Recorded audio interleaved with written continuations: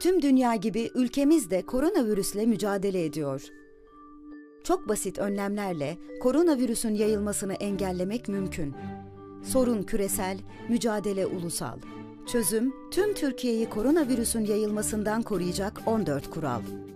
Ellerinizi sık sık su ve sabunla en az 20 saniye boyunca ovarak yıkayın.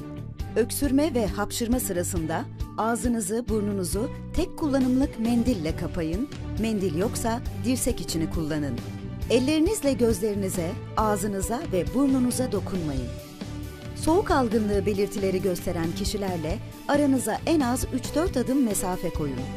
Yurt dışı seyahatlerinizi iptal edin ya da erteleyin.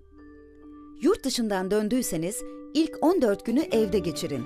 Ziyaretçi kabul etmeyin ve kendinizi izole edin. İzole edilmiş kişinin odasına maskesiz girmeyin. Bulunduğunuz ortamları sık sık havalandırın. Sık kullandığınız yüzeyleri her gün temizleyin.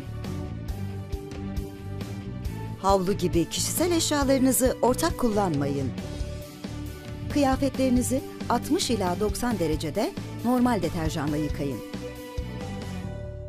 Tokalaşma, sarılma gibi yakın temaslardan kaçının. Güçlü bir bağışıklık sistemi için bol sıvı tüketin, dengeli beslenin, uyku düzeninize dikkat edin. Soğuk algınlığı belirtileriniz varsa yaşlılarla ve kronik hastalığı olanlarla temas etmeyin ve maske takmadan dışarı çıkmayın. Düşmeyen ateş, öksürük ve nefes darlığınız varsa maske takarak bir sağlık kuruluşuna başvurun. Risk almayalım, gerekeni yapalım. Koronavirüs riskine karşı 14 kurala uyalım. Unutmayın, koronavirüs alacağınız tedbirlerden daha güçlü değildir.